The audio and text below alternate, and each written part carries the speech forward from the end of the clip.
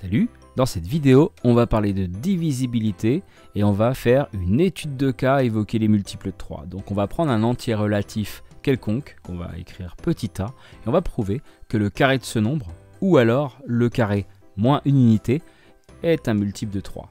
Donc le ou déjà à gérer, c'est un premier point. Et autrement, on revient sur cette notion de multiple. Dire que A est un multiple de B ou que B divise A, ça veut dire qu'il existe un entier K appartenant à Z. Lui, il existe, le quantificateur, on peut l'écrire avec un E capital à l'envers, tel que A égale K fois B. On se sert de ça, on met sur pause, on en discute.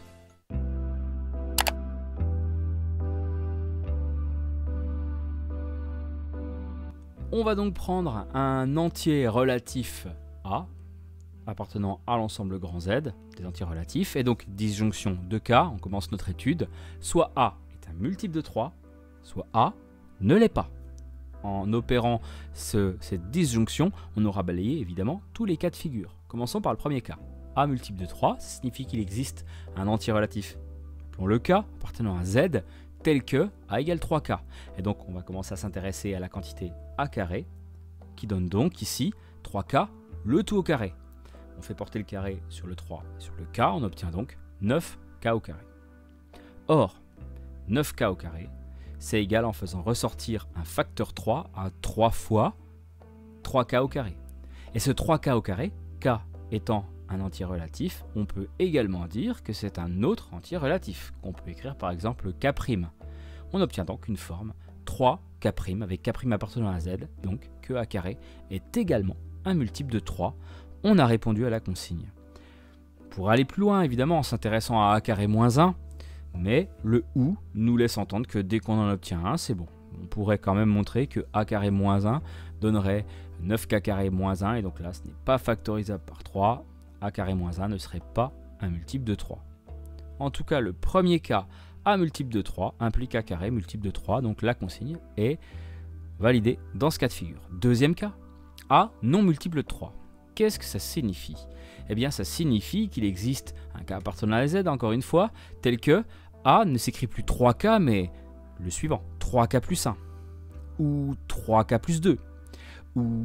Bah, où c'est tout en fait. Puisque si je commence à l'écrire 3K plus 3, finalement, je retombe sur mes pattes.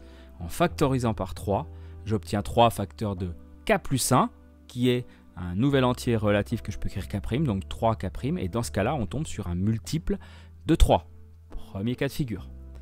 Et si je m'intéresse de proche en proche à A égale 3K plus 4, je peux très bien écrire que 3K plus 4, c'est 3K plus 3 plus 1 factoriser par 3 les deux premiers termes et obtenir 3k' plus 1. Donc là, je retomberai sur le k qu'on va évoquer maintenant, où a est égal à 3 fois un nombre entier relatif plus 1, etc., etc., etc. On parlera de congruence un tout petit peu plus tard dans ce chapitre, mais en tout cas, en balayant les deux cas, a égale 3k plus 1 ou a égale 3k plus 2, on a balayé tous les cas de figure. Votre entier k après, vous êtes libre de le choisir comme vous le voulez. Donc, ça donne quoi dans le premier cas justement?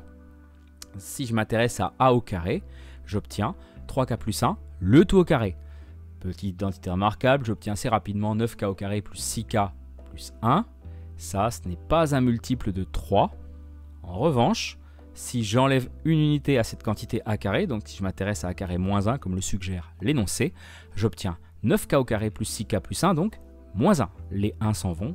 On se retrouve avec 9k au carré plus 6k. La factorisation par 3 est ici possible.